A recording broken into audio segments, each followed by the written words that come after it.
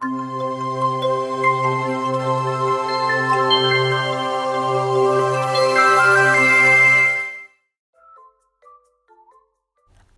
ماجرای لاغر شدن با قهوه سبز رو تو این ویدیو بهتون میگم.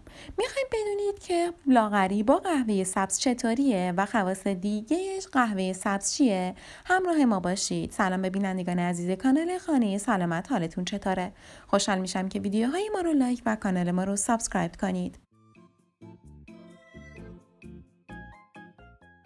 لاغری با قهوه سبز یک سری عوارض جانبی داره مثل ناراحتی معده، افزایش ضربان قلب، تکرر ادرار، مشکل در خوابیدن، بیقراری و تنش. همانند بسیاری از مکملها دانه قهوه سبز می‌تونه به عنوان یک راه حل طبیعی برای کاهش وزن به بازار عرضه شه عبارت طبیعی در صنعت مکمل ها رایجه اما لزوما به این معنا نیست که این محصول ایمنه. در واقع هیچ تعریف قانونی از طبیعی بودنش وجود نداره. بسیاری از گیاهانی که در طبیعت رشد می‌کنن می‌تونن مرگبار باشن. اگر به دانه های قهوه سبز به عنوان بخشی از برنامه کاهش وزنتون فکر می‌کنید شرکتی رو که از اون می‌خرید بررسی کنید. مطمئن بشید که تقلب نمی‌کنه و یا محصولات خودش رو با موادی آلوده نمی‌کنه.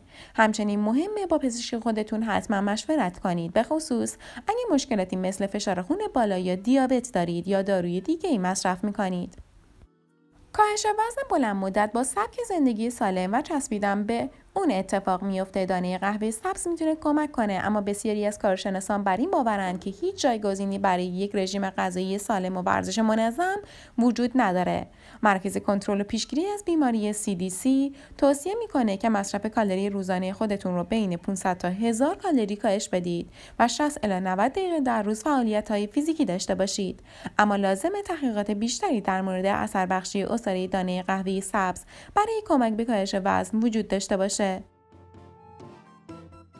اولین خاصیت قهوه سبز اینه که باعث افزایش متابولیسم میشه. حضور اسید کلروژنیک در قهوه سبز به افزایش متابولیسم مشهوره. به افزایش نرخ متابولیک بالسامیک یا BMR کمک می‌کنه که باعث کاهش آزادسازی گلوکوز از کبد به خون میشه.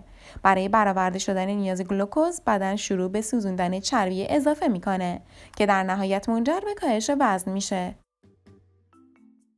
کاهش اشتها عمل کرده بعدیشه. اگه کسی که به طور منظم دچار گشنگی میشه یا کالری غیر ضروری زیادی مصرف می‌کنه کمی بهتر قهوه سبز بنوشه.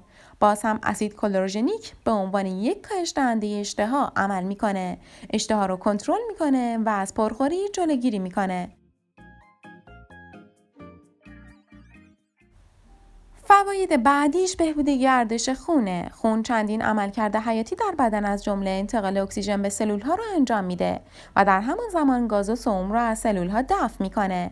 هر گونه انصداد یا جریان کند خون می‌تونه باعث عدم فعالیت بشه و منجر به خستگی و بیحالی بشه که می‌تونه بر متابولیسم تاثیر بذاره و به نوبه خودش روند سوزوندن چربی رو کاهش بده.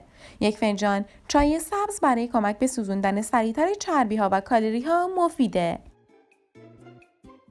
کاهش جذب قند با استفاده از مصرف قهوه سبز. مصرف قهوه سبز جذب قند در روده کوچیک رو کاهش میده. به این معناست که قند کمتری موجوده و به شما کمک می‌کنه تا وزن اضافی خودتون رو پایین بیارید. سوالی که پیش میاد اینه که بهترین زمان برای خوردن قهوه سبز چه زمانیه؟ بهترین زمان برای مصرف قهوه سبز درست بعد از غذا. به خاطر اینکه بعد از خوردن غذا سطح قند خون به طور کلی به خاطر کربوهیدرات و پروتئین بالا میره. شکر اضافی تولید شده وقتی غذا شکسته میشه در طول هضم غذا به عنوان چربی در بدن ذخیره میشه. از نکاتی که باید رعایت کنید اینه که نوشیدن قهوه سبز به حفظ سطح قند خون کمک می‌کنه و از افزایش ناگهانی قند خون جلوگیری می‌کنه.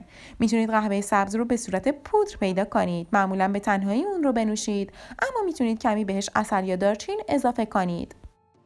مرسی از همراهیتون تا آخر این ویدیو و تا ویدیو بعدی شب و روزتون خوش و خدا نگهدار.